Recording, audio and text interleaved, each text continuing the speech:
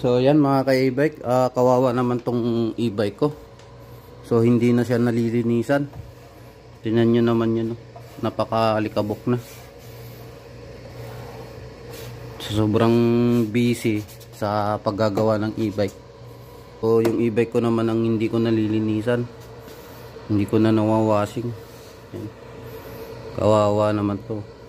Kadumi na. Kinapitan na siya ng alikabok. Pati dito sa loob. Yan. Tapos yung gulong ko. Putpud na pala rin to. Hindi ko na naayos to mga ka-e-bike yung aking e-bike. Sa sobrang busy ko rin sa pagre-repair ng mga e-bike din sa mga ibang e-bikers. So kahit ganito to mga ka-e-bike ang e-bike ko. Hindi naman to nasisira. So wala naman siyang problema kahit papaano. So awa ng Diyos sa tagal na rin to ng e-bike ko. Halos mag 1 year na mahigit. Wala pa siyang sakit. So yan. Sinacharge ko siya mga ka-e-bike. Gawa kasi bukas may lakad ako. Pupunta ako ng shop. Bibili ako ng controller na bottle. Ayan siya. So buksan natin yung accessories niya. Pati yung ano niya dashboard. Kawawa naman tong e-bike ko. Ayan, yung mini drive niya. Sa natin yung mini drive. Yun. Ayan siya mga ibig. Yung mini drive.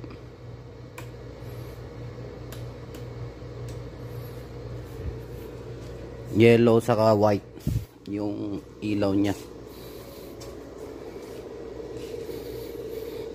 Tapos yung dito sa likod. So yung plaka nito mga kaibek may ano to eh. One piece dito. Sa ano niya, plate niya. Ayan. So kahit papaano eh ito yung lagi kong kasama tuwing gumagawa ako ng e-bike. Ito yung service ko. Yan. So hindi naman siya nga nagkakaroon ng problema kahit papaano. Kaya pasalamat din ako dito sa e-bike ko na lagi ko kasama sa paggagawa. Pati doon may ilaw din doon. Dito. Ito yung blinker tapos ito yung underglow.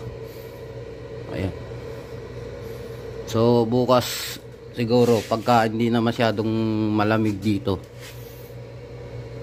Hugasan ko na to. Iwawasing ko to. Para kahit pa paano eh mukha namang malinis. Kawawa naman tong e-bike ko eh hindi na nalilinisan Yan. hazard natin so yun ang hazard nya so ang kagandahan nito pala mga kaibike ito iti-share ko lang sa inyo.